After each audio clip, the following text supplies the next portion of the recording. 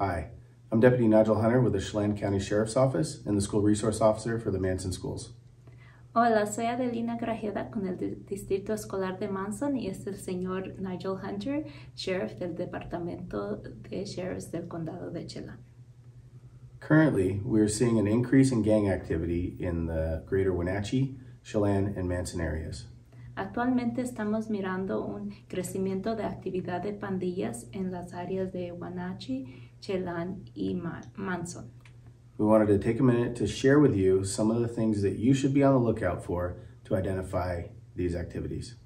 Queremos tomar este momento para ah, compartir con ustedes indicadores que ustedes pueden ver para que sepan de esta situación. Let's take a moment now and talk about some of the different characteristics and things we should be looking for related to gangs.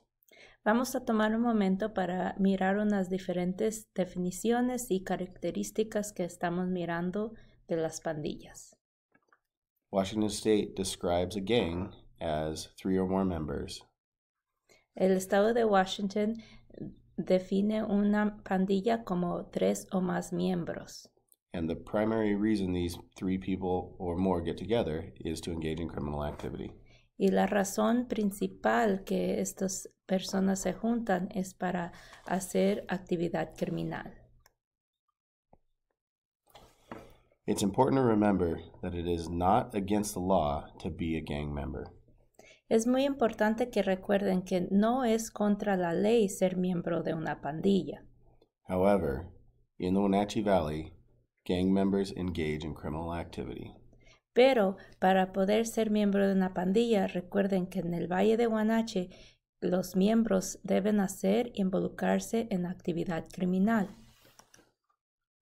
Here are some of the things that gang members might be wearing. Estas son unas de las cosas que se ponen de vestuario los miembros de una pandilla. Take a moment to pause the video and look through this list. Tomen un momento para pausar este video y miren todos estos identificadores. Here are also some behaviors that you might see in someone that's involved with gangs. Aquí están unos comportamientos que puede mirar de una, una persona que está involucrado con las pandillas. Again, take a moment to pause the video and look through this list. Otra vez, te, pongan el video en pausa y tomen un momento para mirar esta lista. If you think that your student or loved one or a friend is involved with gang activities, here are some things that you can do to help.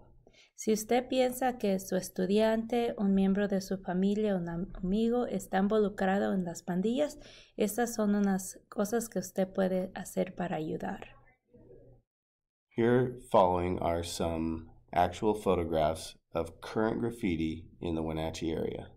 Aquí en estas um, partes van a ver fotografías actuales del graffiti que está en la área de Wenatchee. You'll notice these letters here, B and C, represent Brick City.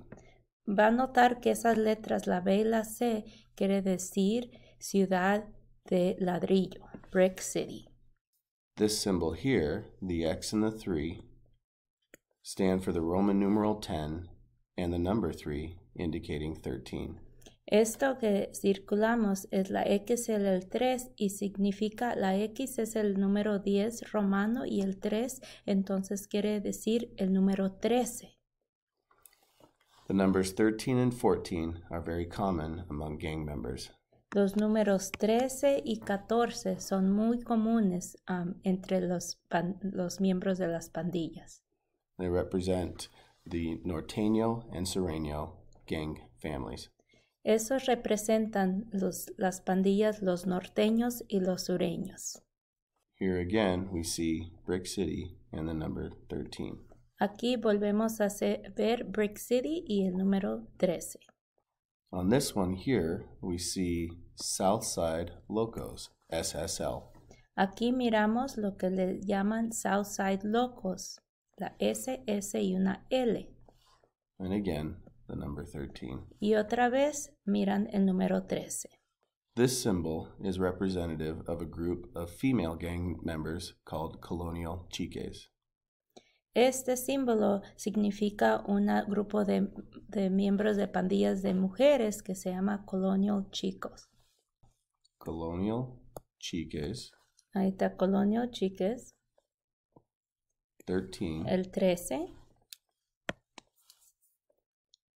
Sereno Sureño 13. y 13.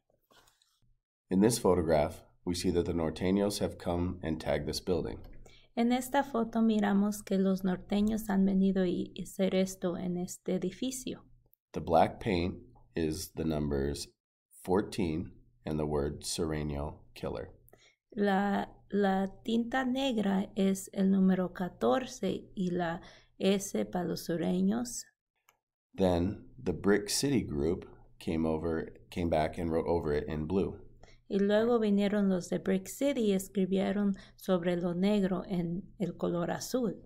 You'll see at the top the letters B, C, and the number 13. Va a ver ahí arriba las letras B y C y el número 13. Then you'll see a target over the number 14.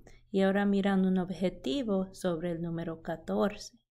And then you'll see the blue letters on the far side, N and K, representing Norteño Killer.